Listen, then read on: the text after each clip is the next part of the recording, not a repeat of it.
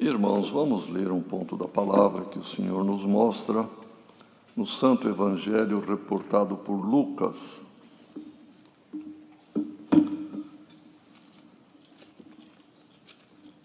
Só confirmando o capítulo aqui, irmãos.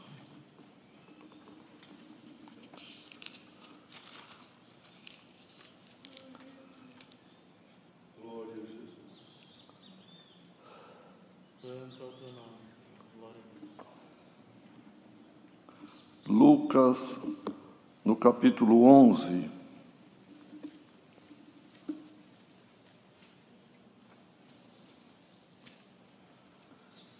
E vamos começar a ler o, o parágrafo que começa no verso 33. Lucas 11, começando no verso 33. E ninguém, acendendo uma candeia, a põe em oculto, nem debaixo do alqueire, mas no velador, para que os que entram vejam a luz. A candeia do corpo é o olho. Sendo, pois, o teu olho simples, também todo o teu corpo será luminoso. Mas, se for mau, também o teu corpo será tenebroso. Vê, pois, que a luz que em ti há não sejam trevas. Se, pois, todo o teu corpo é luminoso, não tendo em trevas parte alguma, todo será luminoso, como quando a candeia te alumia com o seu resplendor. Até aqui, irmãos. Queridos irmãos e irmãs, estas palavras que Lucas escreveu aqui no Evangelho foram ditas por nosso Senhor e Salvador Jesus Cristo diante de muitas pessoas, de uma grande multidão, como se lê ah, aqui versículos antes.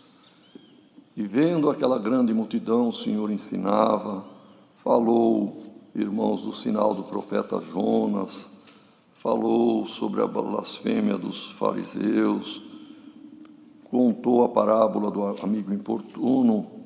E aqui, irmãos, nesse relato, ele fala uma coisa importantíssima, dizendo que ninguém que acende uma, uma luz, naquela época era como uma lamparina, eram as candeias, não é?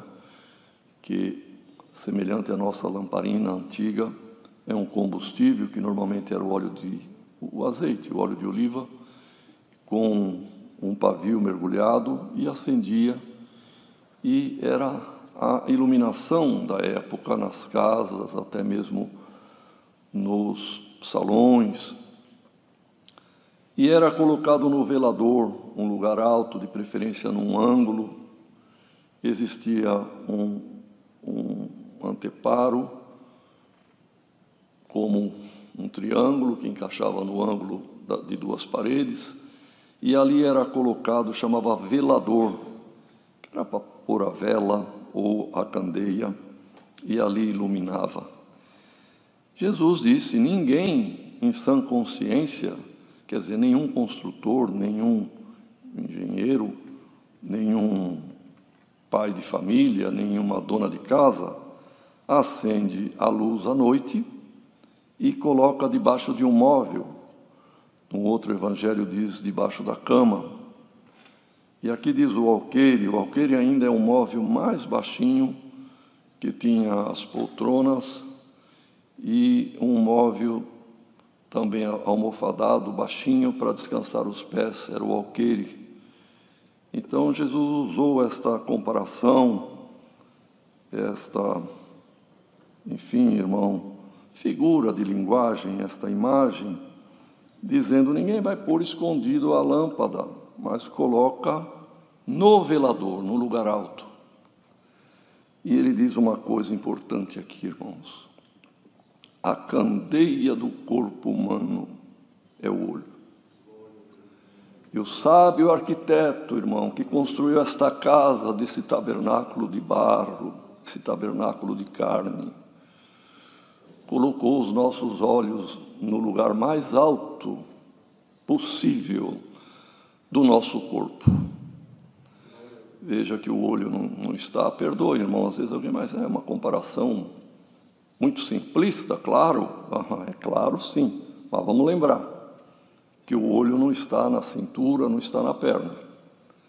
E, dentro, e, e, e, entre os órgãos da cabeça, é o mais alto de todos. Está mais alto que a boca, o paladar, mais alto que o olfato, mais alto que os ouvidos. O olho está no velador desta casa de barro. Glória ao nome do Senhor. E disse o Senhor: quem tem um olho bom, a casa inteira dele, todo o seu corpo, todo o seu ser, mente, coração, interior, é luz, é luminoso. Mas uma pessoa de olho mau, maldoso, que olha com maldade, com malícia, com desconfiança de tudo e de todos, essa pessoa o problema é dela, porque a sua casa será trevas. Olha o que está escrito aqui, irmão. A candeia do corpo é o olho. O Senhor falou, afirmou, ponto final. Sendo, pois, o teu olho simples, bom, sem maldade, sem malícia, também todo o teu corpo será luminoso. Mas se o teu olho for mau, também todo o teu corpo será trevas, tenebroso. Vê, pois, que luz há em ti. Jesus falando isso, irmãos. E a multidão ouviu. E a palavra fala isso, é o Senhor falando por esta palavra, pedindo para cada um de nós que estamos ouvindo, que estamos aqui presentes ou longe, analisa, irmão, analisa, irmã, como você vê as coisas. Porque o bem ou o mal é teu. É meu o bem se eu olhar com bons olhos. É meu o mal se eu olhar com crítica destrutiva, com inveja, com ódio. O azar é só meu. Que Deus nos guarde, irmão. Veja como você está vendo. Analisa como você está enxergando as coisas ao teu redor, na tua vida, na tua casa, na tua família, no teu trabalho. Tem quem reclama do chefe, reclama do colega. Será que eles são tão ruins assim ou você que é mau? É a palavra, irmão. Vê como é o teu olho. Vê, analisa como você está enxergando as coisas. Tem gente que enxerga tudo, irmão, com crítica. Nada presta, nada serve. Muitos, como ouvimos na oração, e, e foi a tônica que Deus trouxe em uma linha hoje, separações de casais, irmão. Por quê? porque um critica o outro, vê, vê com desprezo, com menosprezo, sem dar o valor para o marido ou para a esposa. Outros amaldiçoam até os filhos. É, eu não esperava ter um traste deste, e daí vai, irmão. Por que isto? Será que o marido é tão ruim assim? Será que a esposa é tão feia, tão desmazelada ou é o olho do marido que não é bom, que é crítico destrutivo, que é invejoso. Então, é a palavra nesta manhã, irmãos. Glória ao nome do Senhor. Mas se os homens, irmão, criados por Deus, desenvolveram na medicina técnicas de fazer transplante de olho, Glória ao nome do Senhor. Fazer transplante de partes do olho, para que a pessoa que não enxergava bem passe a enxergar bem. Muito mais o Criador, que fez cada neurônio, que fez juntas e medulas deste corpo, ele é poderoso para fazer um transplante espiritual, porque não é o olhar físico, irmão. O olhar físico, se não tiver luz, nós, mesmo tendo o olho normal e perfeito, não enxerga nada. A palavra de Deus está dizendo da nossa forma de ver as coisas. Glória ao nome do Senhor. E poderoso é o Senhor para fazer um transplante, a começar de mim, se necessário em alguma coisa, em alguma falta, e qualquer um dos irmãos, e tantos quantos estão ouvindo esta palavra, o Senhor pode mudar o teu modo de ver, mudar o teu olho, glória ao nome do Senhor, para um olho amoroso, perdoador, um olho de amor, glória ao nome do Senhor. Então, irmãos, vê, pois, que a, a luz de ver as coisas que em ti há não sejam trevas. Que o Senhor, por esta palavra, faça transformação, faça transplante espiritual, mudança, irmão, em quem precisa. Vejam que uma criança, um menino de 5, 6 anos, uma menina de 5, 6 anos, brincam, não há malícia, o olho é bom, o olho é simples, o olho é perdoador, às vezes se desentende momentaneamente por um brinquedinho, mas já já estão brincando de novo, não guarda mágoa, não fuzila com o olho cheio de ódio, porque são simples. Mas o adulto, irmão, já tem o olhar, se é um homem, pode olhar com malícia para a mulher, a mulher da mesma forma também para algum homem, com, enfim, irmãos, pensamentos de lascívia, assim por diante. Porque o olho pode estar aí traindo a pessoa. O olhar não é mais um olhar simples, é um olhar maldoso. Mas, irmãos, que cada um cumpra o que Jesus pediu. Veja que tipo de olhar é o teu. Veja que olho é o teu. A luz é necessária para ver, irmão. E no sentido espiritual, só enxerga com amor, misericórdia, simplicidade quem está na luz da palavra. Nas trevas, os irmãos podem ver num quarto bem fechado que tem cortina grossa e fecha tudo, pode ser meio-dia, muito claro lá fora mas o quarto vai ficar escuro e a gente vai ter que tatear para não trombar em algum móvel. Por quê? Apesar do olho fisicamente ser bom ou normal, mas a luz está faltando. E irmão, o pior cego é aquele que não quer enxergar. E Jesus, se os irmãos lerem lá 23 de Mateus, vão ver quantas vezes Jesus fala a palavra cegos para os fariseus, para, enfim, irmãos, os escribas, eram doutores da lei, eram conhecedores, irmão, de toda a história de Israel e de toda a lei. Mas o Senhor fala, são condutores cegos. Vocês conduzem os outros, mas nem para vocês enxergam não eram cegos fisicamente, eram cegos por não entender a vontade de Deus, eram cegos espiritualmente. Glória ao nome do Senhor.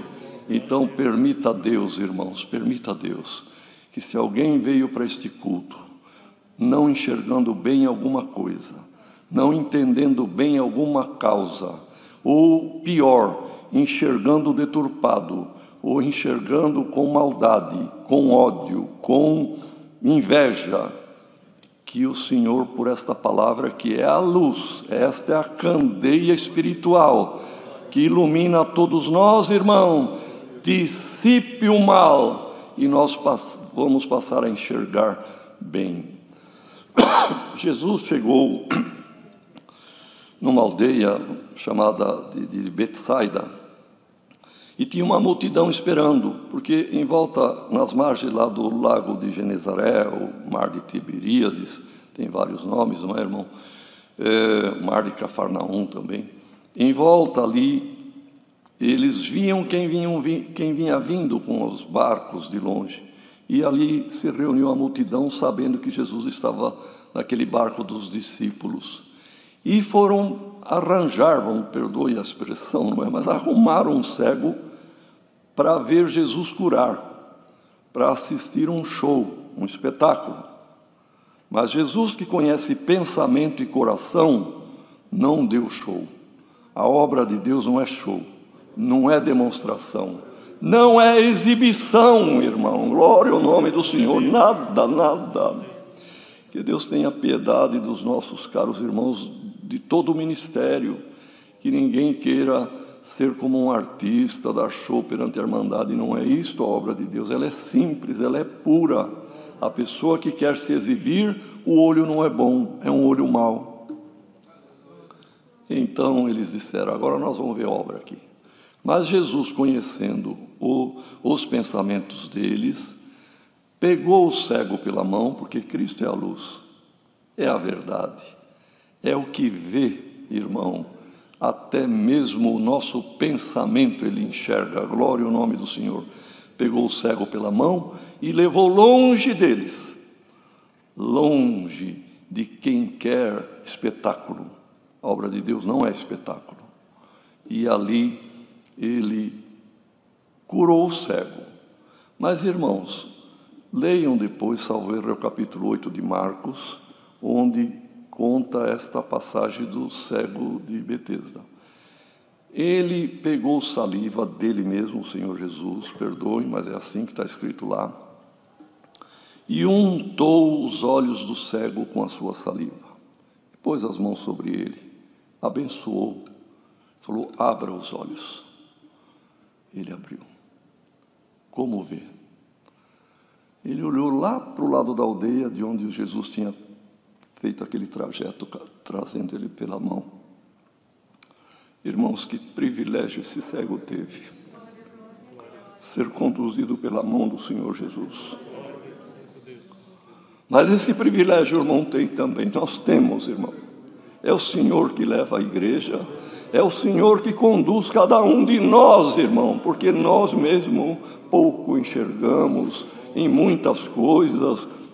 Deus nos deu a graça de enxergarmos a luz da palavra e enxergarmos aquilo que está mais ou menos perto de nós mas tem muita coisa para ser desvendada, muita coisa para nós enxergarmos, muita revelação de Deus que Ele vai derramar sobre a igreja, como ouvimos a oração pedindo os dons, irmão, e um dos dons é o dom da revelação de Deus.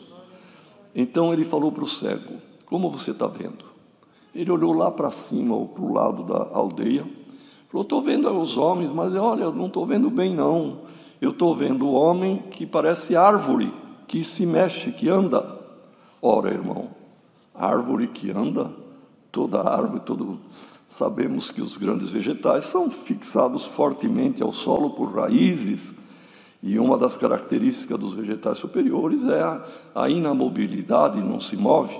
Os animais se movem, vão buscar comida, mas o vegetal ele se fixa na terra porque ali ele retira tanto do solo e da água do solo, como o oxigênio do ar, enfim, ele está estabilizado e produz alimento. Por isso a árvore produz comida para os animais. E, e ele fez confusão, falou: estou vendo o homem, mas é parecido com a árvore que anda. O Senhor Jesus tinha muitas alternativas. Uma delas era dizer: tá bom, você não enxergava nada, você era cego, mas você já está enxergando, pode ir embora. Mas o Senhor não soltou o homem vendo confuso, não. Não, espera um pouco. Tornou a pôr as mãos sobre ele. Porque o Senhor tinha feito obras com o cego. Que queres?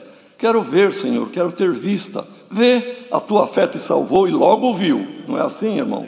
O Senhor é Senhor, é instantâneo. Mas ali nesse cego de Betesda foi em etapas. O Senhor tornou a pôr as mãos nele e falou: Abra o olho agora. E olha, ele abriu o olho, olhou. Falou: Senhor, agora eu vejo bem, agora eu vejo longe, Senhor, e vejo distintamente. O que, que quer dizer? Agora eu estou sabendo quem é homem, quem é árvore, quem é pau, quem é pedra. Glória ao nome do Senhor. Não estou mais fazendo confusão. Irmãos, que esta palavra hoje venha como um colírio do céu e venha com muita luz, glória ao nome do Senhor. E alguém que está sofrendo, porque você está enxergando embaçado, você está enxergando distorcido, você está enxergando mal. Por isso está tendo confusão na tua casa, na tua família, na tua vida, na igreja que você pertence. O mal está no teu olhar. Você está vendo as coisas como não são. Você está vendo o homem que parece árvore que anda. Glória ao nome do Senhor. E que esta palavra hoje seja mais um toque do Senhor. O Senhor deu o segundo toque da libertação. Nós, o Senhor nos chamou, vimos a, a necessidade do batismo, vimos que este é o caminho que conduz à vida eterna. Nossos olhos estão se abrindo, mas diante de alguma causa, irmão, nós nos sentimos como cegos, não sabemos a saída. Quem sabe a irmã, o irmão, tem algum problema na tua família, no teu trabalho, na tua empresa, na, enfim, irmão, na tua vida, em algum ponto, o irmão não sabe como sair, não enxerga a saída. Hoje o Senhor manda esta palavra, que seja um segundo toque que seja para você ver longe e distintamente. Irmão, sabe o que é enxergar curto, pertinho demais? Pode ver, às vezes tem pessoas que precisam pôr para ler alguma coisa muito pertinho do olho. E de longe, o míope principalmente não vê, é tudo embaraçado. Então, irmão, no sentido espiritual, quem se preocupa só com coisas pequenas, irmão, desta vida presente, é um míope espiritual. Só enxerga coisa curta. Ah, o lugar é meu. Ah, aquele irmão não me saudou. Ah, eu não gostei do que aquela outra me falou. Não me respeitaram. Esse lugar que eu fui posto, eu não saio daqui. Está enxergando coisinha pequena, irmão. Está enxergando coisinha desta vida. Aqui tudo fica. Ministério de ancião, de diácono, de cooperador, qualquer outro. É para esta vida, é para nos salvarmos. Lá no céu não vai ter diferença de ancião com irmão que não tem ministério. Tudo igual, irmão. Então, às vezes, alguém, por causa de uma pequena fala, por causa de uma pequena posição, fique enxergando confusão, fazendo confusão, enxergando coisas materiais como grande. O cego disse: Agora, Senhor, eu vejo longe e vejo distintamente, Senhor. Irmãos, glória ao nome do Senhor. Que esta palavra nos abra os olhos. Que seja um colírio mesmo, irmão, para nós enxergarmos longe, além do horizonte desta vida terrena. Vamos enxergar a vida eterna, a glória que nos aguarda, aquilo que o Senhor veio trazer para nós, que foi salvação, irmão. E tudo mais desta vida ficará pequeno e não terá valor como alguém está dando um grande valor em coisa pequena que só traz confusão na tua vida.